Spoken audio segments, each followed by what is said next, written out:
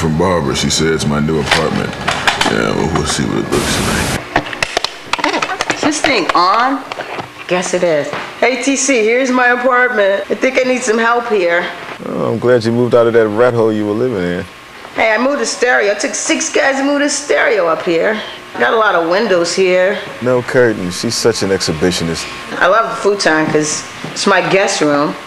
There's my chair. hey, I got a fireplace. Did I tell you that? Uh, yeah, but it's this wood. I, I hate this wood, but the landlord won't let me paint it. Yeah, we can definitely do something else with that fireplace. That's nice. Oh yeah, my fish are here. You like the fish? Oh, where's I that tolerate light? your Let me see if I can get this light on. Hey, there's the fish. Yeah, yeah. It's my dining room. More windows. I don't know what to do with these windows.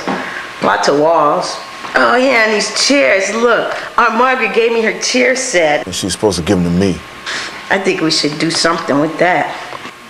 Oh, and I got this foyer.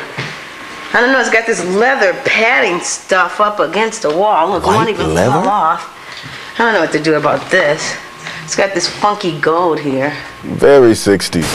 So that's it. It's my apartment. Help! Yeah, we can definitely do something with this apartment. Hmm. Call a few people, do a little bit of shopping, shave. All right, baby, it's on. Designer Man to the rescue!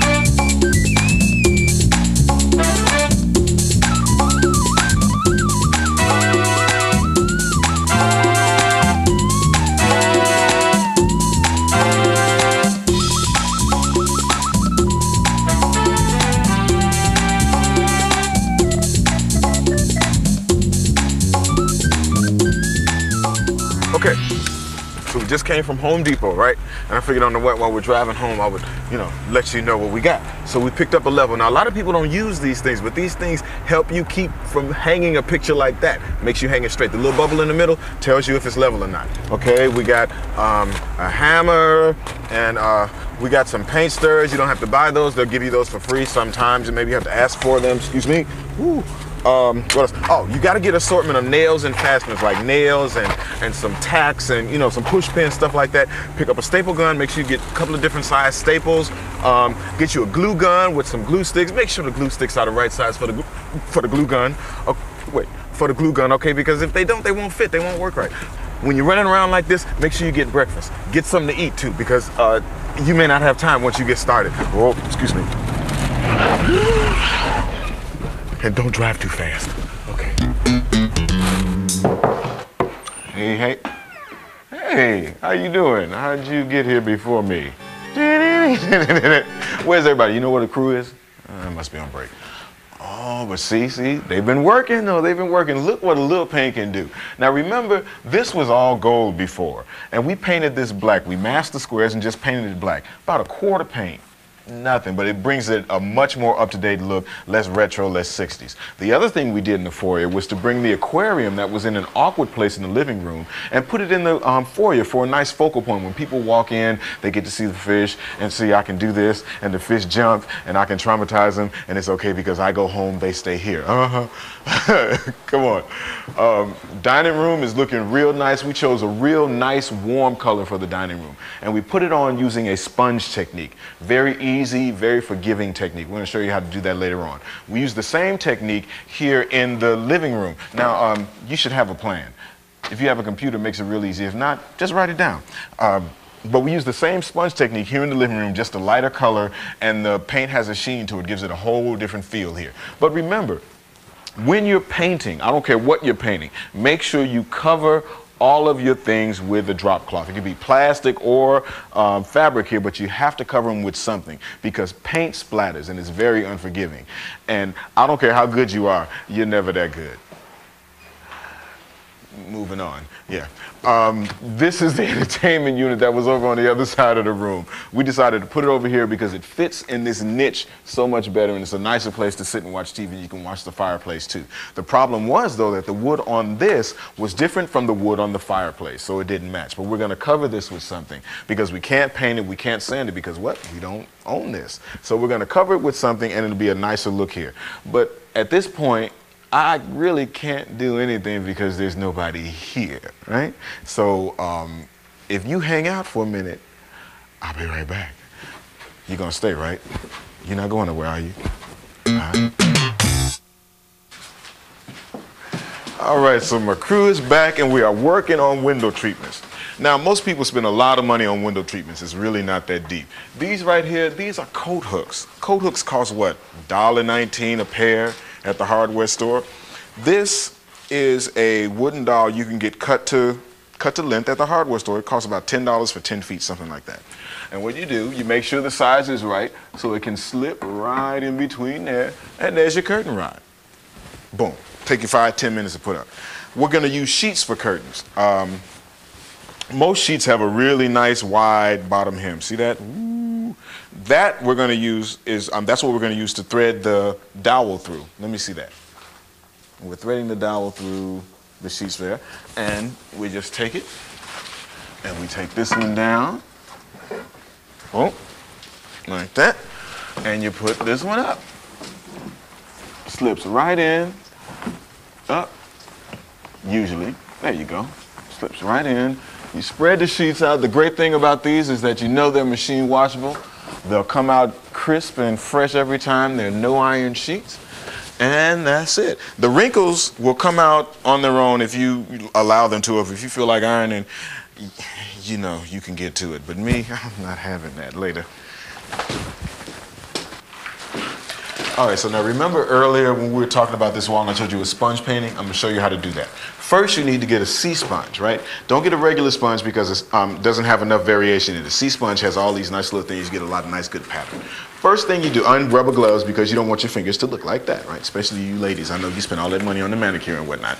All right, so you put the sponge in the water and you squeeze out almost all the water. The more water you have, the more translucent the paint will look on the wall, but the more likely you are to get drips. So squeeze out, you know, pretty much all the water. And you take a little bit of paint. You don't need a whole lot. Just a little bit, that's not a lot, right? And then you smoosh. And you smoosh it on until you kind of looks like what you want it to look like. Make sure you put your painter's tape down, ladies and gentlemen. It saves you a lot of time and effort in the end cleaning up your moldings and stuff, all right?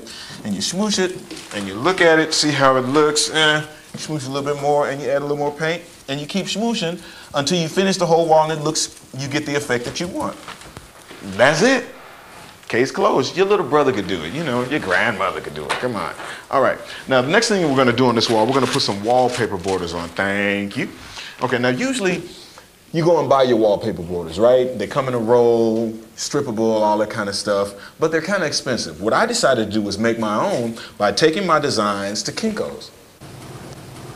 I give her these.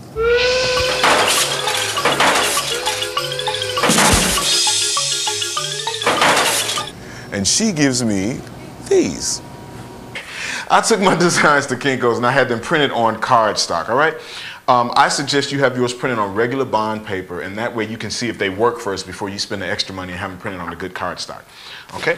So we'll put them up here and see what they look like. Now we're gonna attach these with a staple gun because remember, we're trying to do things that you can take with you when you go, all right? So your landlord won't be like, why'd you put all that stuff on my wall and I can't, uh, uh, uh. You, know, you don't want to be bothered all that. So, and I can tell you right now, just by looking at these, that they're gonna be too big. So I wish I had followed my own advice and had them printed on regular paper because now I gotta go back to Kinko's and have these things reduced. And I think I'm gonna have the um, paper changed. See, See this white, it's a little bit too bright up next to this antique white. So I'm gonna have them take the paper down to like maybe a beige color and have them reduce them to about four by four, all right?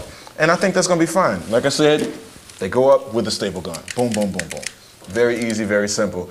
And that's about it. All right, now this is the same technique we used in the dining room, in the living room, but we used a lighter color and we used two colors, a white and this tan color. And uh, we sponged the white on top of the tan just a little bit to give it more, more depth. We also used uh, um, semi-gloss paint, which gives the whole room a nice glow to it. Now, we're gonna run to Home Depot so you can understand why we use the semi-gloss paint.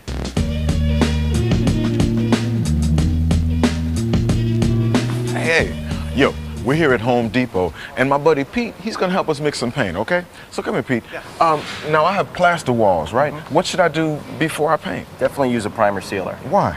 For stain killer, and it's also going to guarantee the adhesion. Oh, okay. Now, flat paint, semi-gloss, satin, what is that? Well, flat paint's usually used for your walls. Okay, they hide imperfections. Okay. All right, semi-gloss is very shiny but great scrubbability, which is a bathroom or kitchens. Okay. And then the satin's in between, has a scrubbability but not so shiny. Oh, cool. Okay, check this out. Um, this is the color I want. What is it? Uh, persimmon berry. Woohoo. Okay. So how do you do that? Basically, I just put this in the computer, Uh-huh. print it up, and it tells me what to mix. Oh, okay. And it prints the up, prints the label. Up, come on, keep going. Keep going. There we go. Uh-huh. All right, it's got a lot of numbers on there. What is Right. that? The, the colorants, actually what I do is I get the base. Mm-hmm. And that's Edit. our that's our satin base. Absolutely. Oh.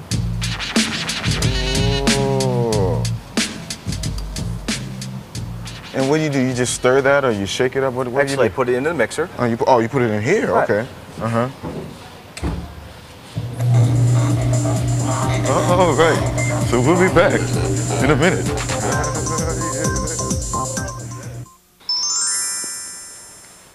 Oh, oh, hey, hey, what's happening? Just taking a little nap. Okay, look. So we're gonna cover this futon couch. And as you may know, futon covers are very expensive, $100, $150. So what we decided to do was use two sheets the same size as the futon. These are two tw- uh, queen size fitted sheets.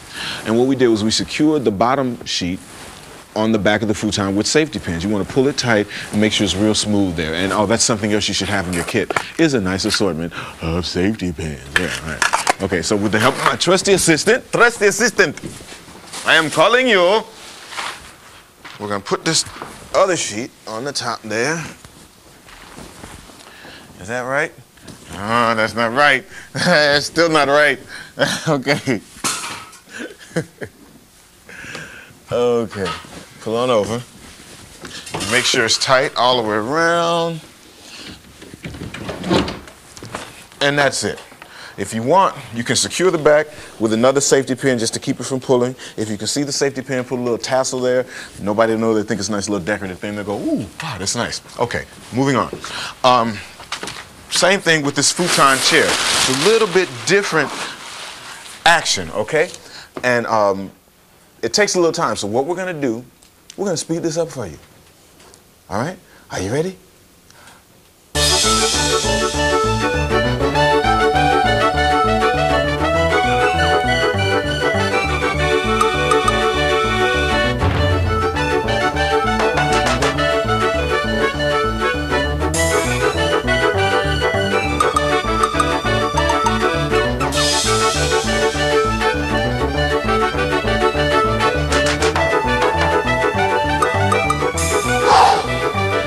And that's it. Hello. Remember when we were talking about the fireplace earlier? I told you we are going to do something about it, right? Well, this is muslin. Muslin is very cheap material, like $1.19 a yard. And what we're doing is we're stapling this to the face of the fireplace. Now, one thing you need to remember is that you cannot do this if your fireplace is working, right? Why? Because this will catch on fire. Hence the name fireplace. Okay. so we pulled it down, we stapled it at the top, and then we pleated it and stapled it down here at the bottom, pulling it tight so you get these nice little ridges here. Not too tight where you stretch it too much. Stapled it all the way around the edge here. And then we took a little knife, little mat knife, and you cut right along the molding there. Boom. We're gonna cut that all the way down and around the bottom here. Um, then we're gonna take some glue from a glue gun and put it on the muslin, not on the wood, and glue a piece of rope right here so it hides all these staples and gives a nice finished edge right around this. And we're gonna do it around the top and around the bottom too, and then it'll be done. Paint the inside of here, maybe black.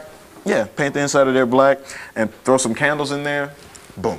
You got a wonderful fireplace that is working and not working at the same time. It's kind of like a double entendre kind of thing. Oh, excuse me. Uh, nice to have helpers.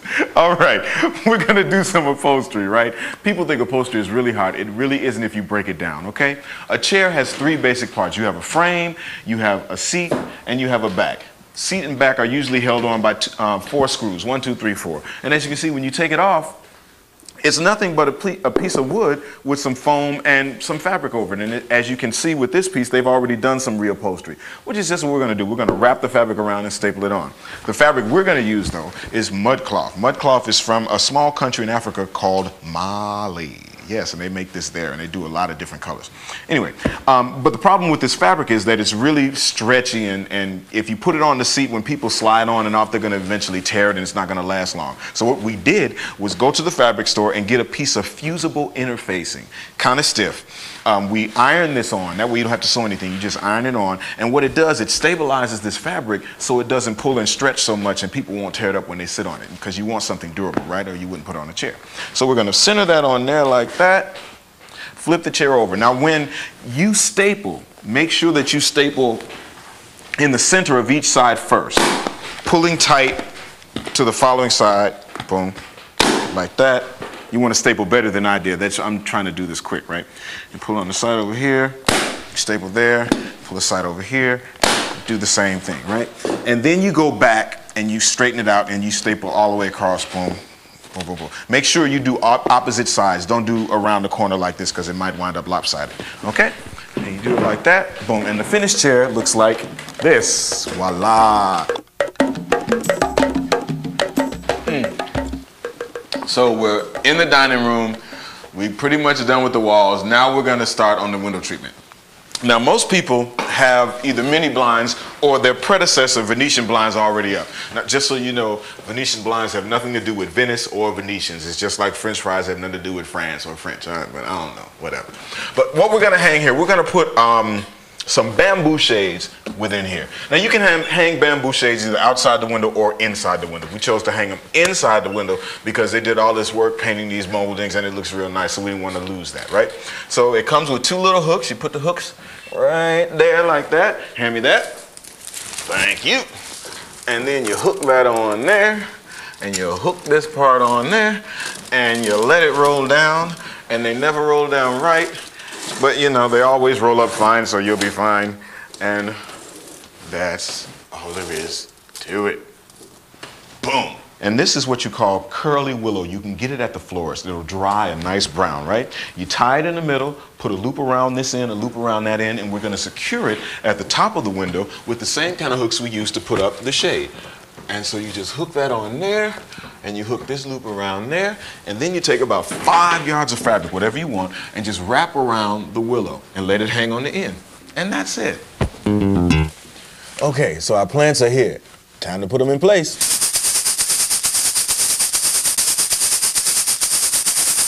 Remember, when you buy new plants, quarantine them for at least a week. That way, if they have any diseases or bugs, they won't be transferred to the plants you already have at home.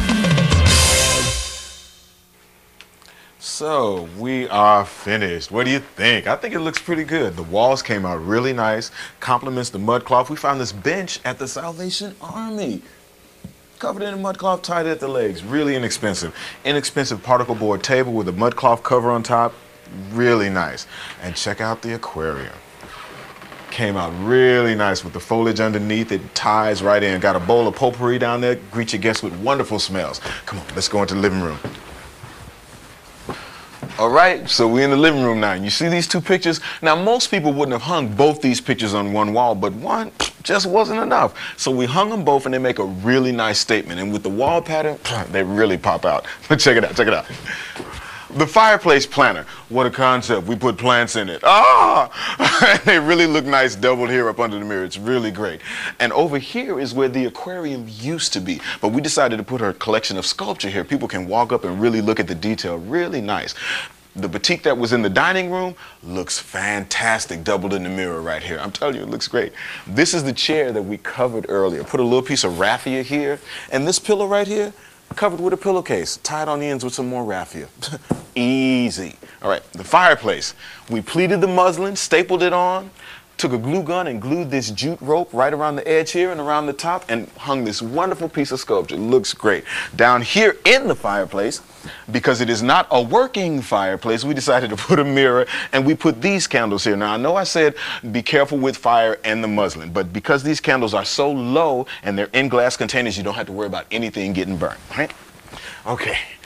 The entertainment unit that was over there works well here. It really does. People can watch TV and nobody walks in front of them. We put some plants, some more candles. Candles add instant ambiance. Remember that. Looks fantastic. The couch. Aha. Couch we covered with a couple of sheets. There's that pillowcase again. Put our pillows on top. Looks fantastic.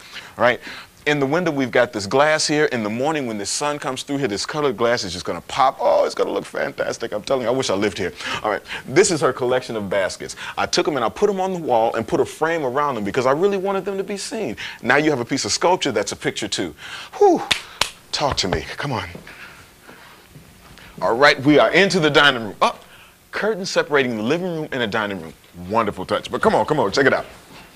This room, this terracotta sponged on, looks wonderful. I'm telling you, it really works. And the window treatment came out really nice, just enough to pop these windows out. The bamboo shades will allow a lot of light in in the morning time. And check this out. This is nothing but a piece of foam wrapped in mud cloth. You can sit here in the wintertime, make it nice and warm when you come in.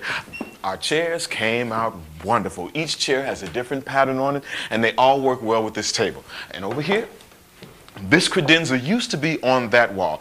We put it on this wall to provide a nice focal point. So when you walk in this room, you see the table setting, and you see this nice credenza with the plants, and this wonderful piece of sculpture from Benin, West Africa, right over it. pops everything right out. With the candle holders, it really makes it nice.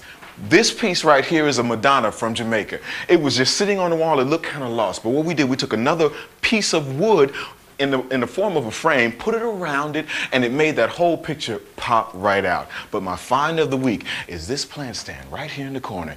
Wasn't a plant stand, used to be a lamp, had a light, everything. Took it out, now it holds a plant, $15 at the Goodwill. I'm telling you, check out the border.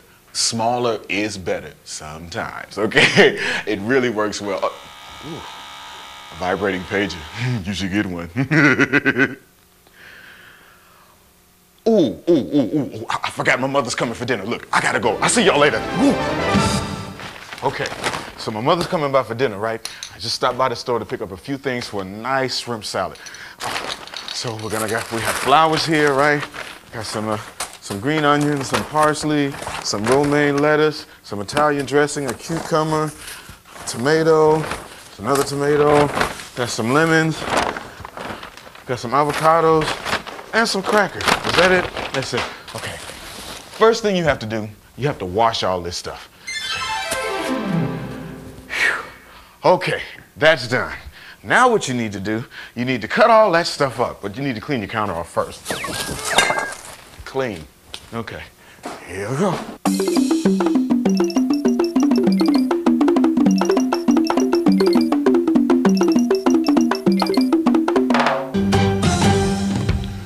Okay, so now you're ready to fix the shrimp. Really, really easy. Got about a pound, pound and a half of already cooked shrimp. Aren't they pretty? Yeah, just dump them in the bowl. Uh, untie the bag first, then you dump them in the bowl. Okay, to that, you're gonna add some Italian dressing.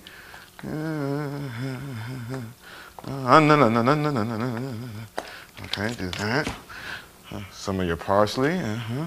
some onions, like that, and a little bit of garlic. This is garlic, uh-huh. okay. Uh-huh.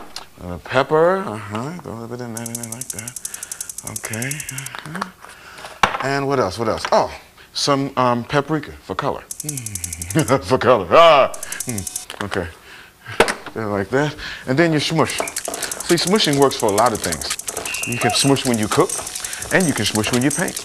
Okay, oh, look at that, isn't it pretty? Look at that, that's so pretty. Now I'm gonna put this salad together. Check it out.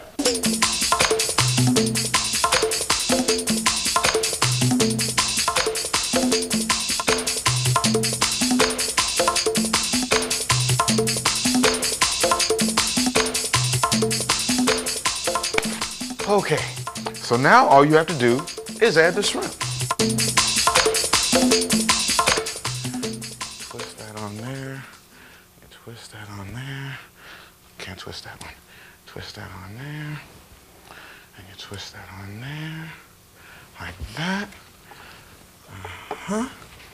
And you get some crackers.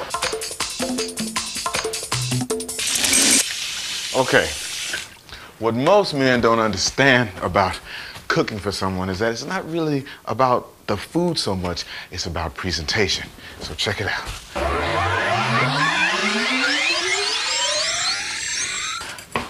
And the last touch is a bunch of flowers. Now, most people take flowers like this and they put them in a real tall vase and all of that, right? Nah, I don't want to put them in a tall vase. So what I'm going to do is clear off a little space here and I'm going to chop them down. Gone, see?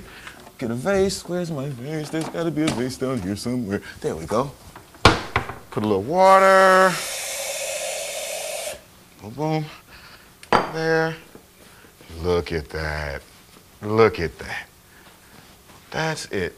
Dinner for mom is nice and light because she's watching her weight, and so am I. Kind of clean this up, and maybe I'll have enough time to get rid of this garbage before she gets here. And then again, maybe not. okay, look, I gotta go. I hope y'all had a good time. I did.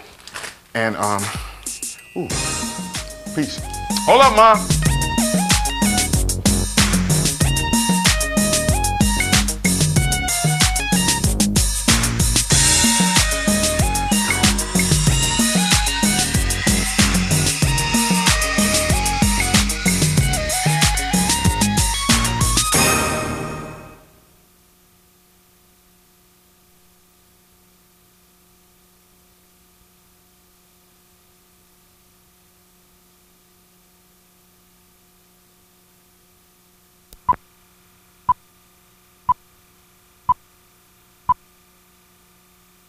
You cannot do this if your fireplace is working.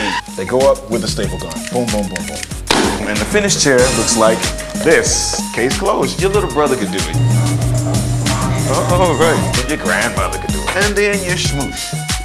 Oh, right. We got some paint stirrers. You don't have to buy those. They'll give you those for free sometimes. I give her these, so our plants are here. Then your smush. Look at that. That's so pretty.